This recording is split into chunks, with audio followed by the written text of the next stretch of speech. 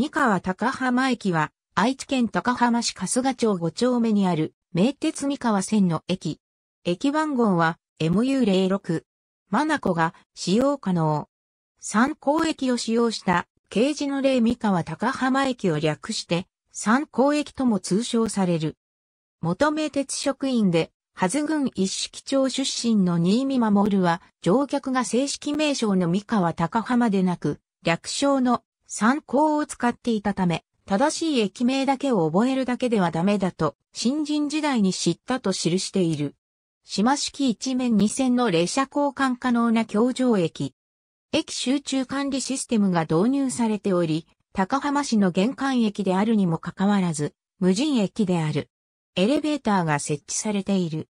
名鉄公式サイトにおいては、三河線と表記される。軽便鉄道停留場設置、関法1918年4月24日、神谷地から三河を走って85年、三河線、衣線と共に歩んだ郷土の歴史と文化郷土文化社。2000年。235ページ。ISBN 978から48億。7670万1292。AB 神谷地から三河を走って85年、三河線、衣線と共に歩んだ郷土の歴史と文化郷土文化社2000年236ページ。ISBN 978から48億7670万1292。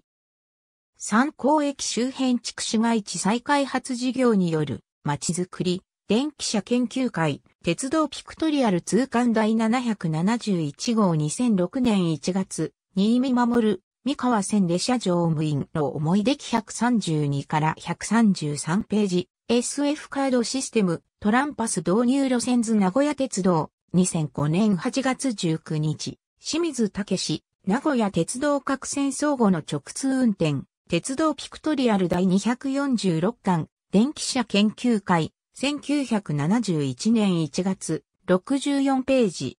大田高之、輸送と運転近年の動向、鉄道ピクトリアル第816巻、電気車研究会、2009年3月、38ページ。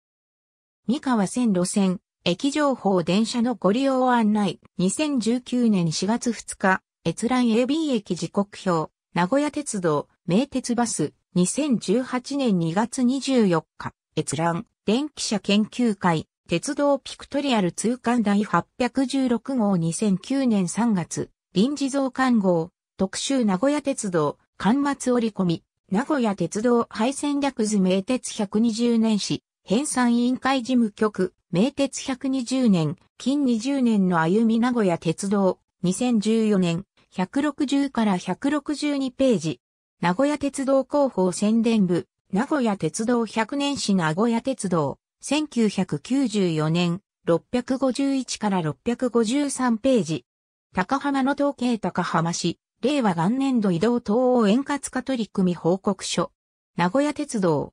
2020年11月28日閲覧。警察署、交番、駐在所の所在地愛知県警察。www.pref.aichi.jp。2020年12月27日閲覧。ありがとうございます。